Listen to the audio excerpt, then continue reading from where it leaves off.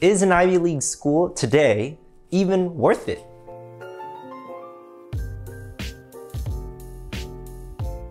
As someone who attended Yale on full financial aid and now works full-time in the education industry, I think I have a pretty unique view to this question. For context, I'm Kevin Zhen, the current co-founder of the Elevated School, formerly known as ZhenEd.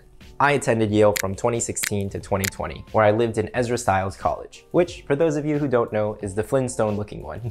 Honestly, I just did two main extracurriculars while I was there. I was part of the Yale Model United Nations Taiwan team for two years, and I was also president of the Yale breakdance team. In fact, some of my fondest memories are living with my breakdance buddies during my junior and senior year. While I was there, I was also part of a secret society during my last year, my senior year, and I was heavily, heavily involved in entrepreneurship and business. So much so that I didn't really spend that much uh, time or effort on my Yale classes.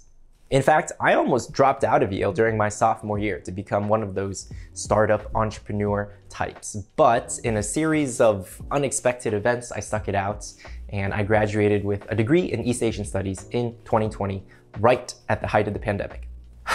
that year was tough. I applied to 50 to 60 jobs in finance, consulting, entrepreneurship, and really I only got one offer I think it was kind of a pity offer from my friend's startup in New York, but I was still really grateful for the opportunity and I was expecting to move there in the summer. But as things turned out, COVID was in full blast, and so I stayed in Miami. Uh, I was living in my childhood bedroom, so I did the only thing I knew how. I started another business. My first business was a food tech startup called Home Cooked that totally failed. My second business is this tutoring and college consulting agency shop. Elevate in so many ways is much easier and simpler than my first business because now I knew what not to do. I focused on customers, sales, and keeping costs low. Because there was a lot of co-founder drama during my first business, I did everything myself this time around and only invited my current co-founder Jeff once this business was making consistent revenue. But uh, starting this company was by no means a walk in the park. I worked 50 to 60 hours a week during the pandemic to support my family, my parents, who had just lost their jobs as restaurant workers. I was on Zoom for so long and so often that I developed back and eye problems. I poured hundreds of hours of my blood, sweat, and tears, energy, effort into this YouTube channel, only to find very minimal returns. It felt like no one was watching, and the worst part was that I was doing all this to help my parents, but they would just fight all the time. Without getting too much into it, let's just say I found myself embracing a new job, becoming my parents' therapist. Perhaps this is something other first generation immigrants can relate to, wanting to, to help them and yet sometimes being kind of repelled by them too. And um, I just found this job to be very emotionally draining, not to mention the fact that sometimes when things got too heated, I would have to physically step in and separate them.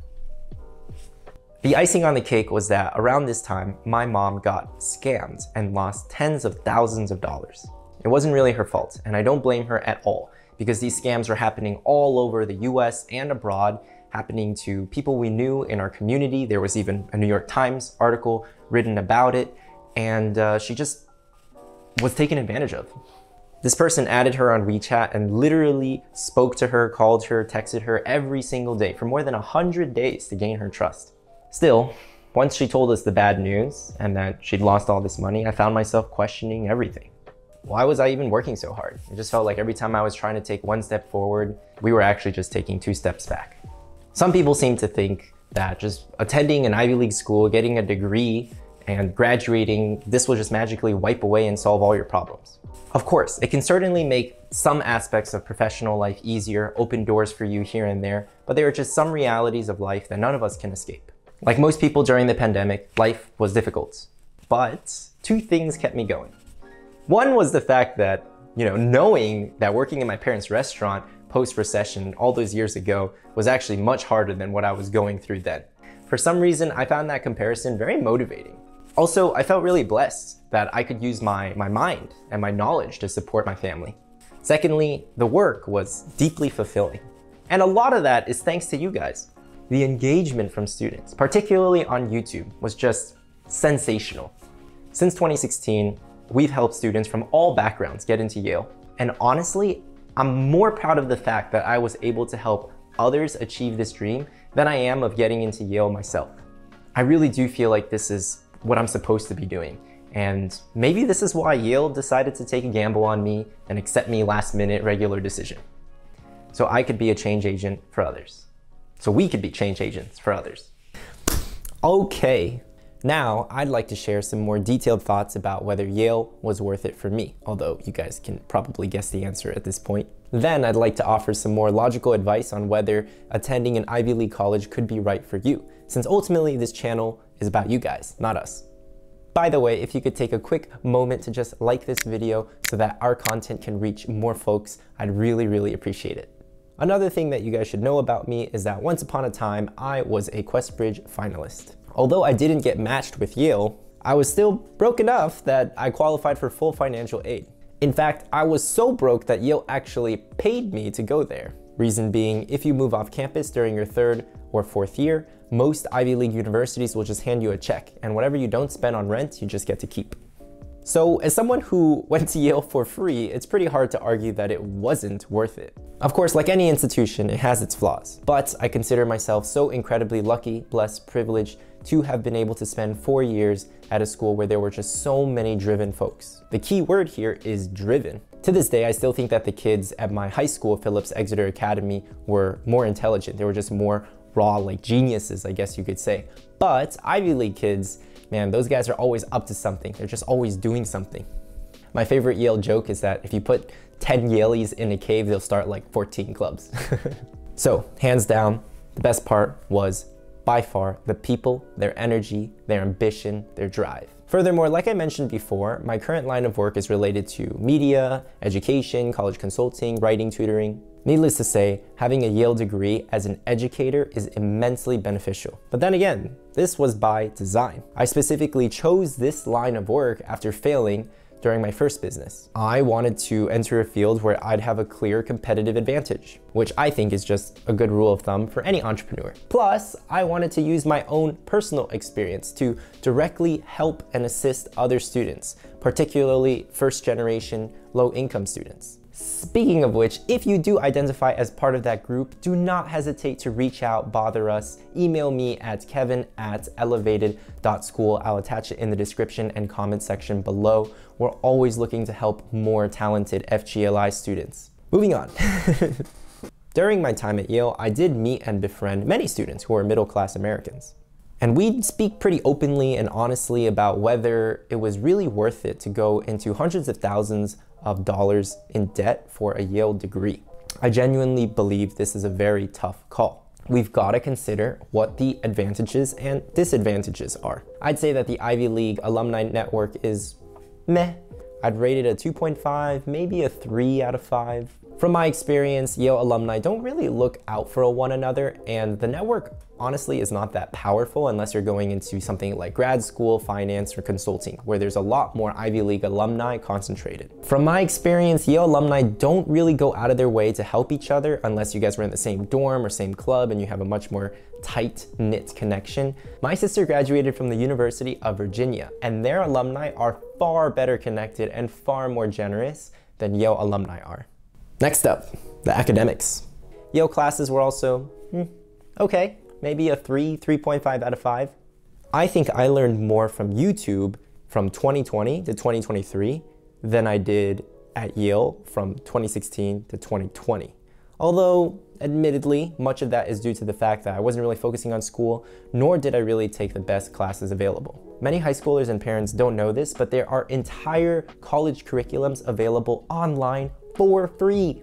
MIT's OpenCourseware, Stanford's Graduate School of Business, they have so many lectures available on YouTube and you don't have to pay a single penny. So really when you go to a college in the 21st century, you're not really paying for knowledge anymore or for your education, I guess you could say, but more for the boarding experience as well as the community.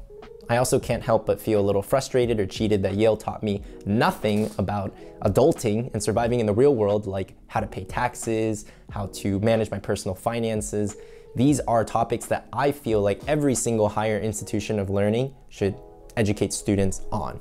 On the flip side, one of the very best classes I took at Yale was related to psychology and relationships. In that class, I learned so much about attachment styles, why we're attracted to the people that we are. We read about famous and interesting psychological studies, and honestly, all of that information has really helped me become a much better partner for my fiance. Which, yeah, is another major update. I moved to Brazil in 2020, you guys, right in the pandemic. My family thought I was crazy, but I met up with my fiance, who I just proposed to last week. She said yes, which was cool. Um, I proposed to her at the Kennedy Center in DC. And uh, yeah, let's just say everything in the romance department is going really, really well. I honestly couldn't be happier. But enough about me, let's talk about you guys. There are quite a few factors which for some reason I haven't seen any other folks talk about, so I did want to spend a little bit of time diving into them. These include your personal and career aspirations, your socioeconomic status, any plans you might have post-grad, and more. The better you know yourself, the clearer an answer you'll have to the question of whether attending an Ivy League college is right or worth it for you. Now, one of the most important factors to consider when it comes to choosing whether any college is right for you is what do you want to do after school? Are you trying to go to grad school and further your studies, become a lawyer, doctor, professor? Or are you looking to become someone more like an artist entrepreneur and upon graduating start your own business, enterprise, or whatever? If you're planning on going the more pre-professional route and you're a middle-class American, my advice is to actually attend a state school and save a bunch of money. You could even transfer out after a year or two and go to an Ivy League or top 20 college after. I personally know lots of people who've done this successfully. In fact, our agency, the Elevated School, helps students do this every single year. it's an incredibly brilliant strategy and a great way to save tens, if not hundreds of thousands of dollars. Plus, I have friends at Yale who told me that their GPA suffered because there was so much competition there. When it came time to apply to medical school or law school, they confessed that they kind of wish they had gone to a college where it would have been easier to get perfect grades. So take that as you will.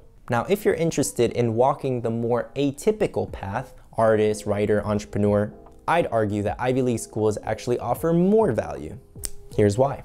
While Ivy League networks on the whole aren't that great, the micro network of, say, for instance, Yale entrepreneurs is actually really, really tight knit and close because there's really not that many of us. Therefore, it is much easier to find collaborators, creatives, co founders who actually take their work seriously and are looking to make this into a legit career post-grad. I met my better half, my current co-founder Jeff at Yale, at a breakdance practice of all places. And if it wasn't for that chance encounter, it would have been definitely very difficult to find him otherwise. He is one of those people that has just utterly changed the trajectory of my personal and professional life and I wouldn't be me. And this channel wouldn't be this channel if it weren't for Jeff. So I'm very, very grateful to Yale for bringing us together. That's all for today, my friends. Thank you so much for watching until the end. If you're interested in reaching out, leave a comment below. I read every single one. Or you can simply visit our website, www.elevated.school. Cheers, catch you at the next one.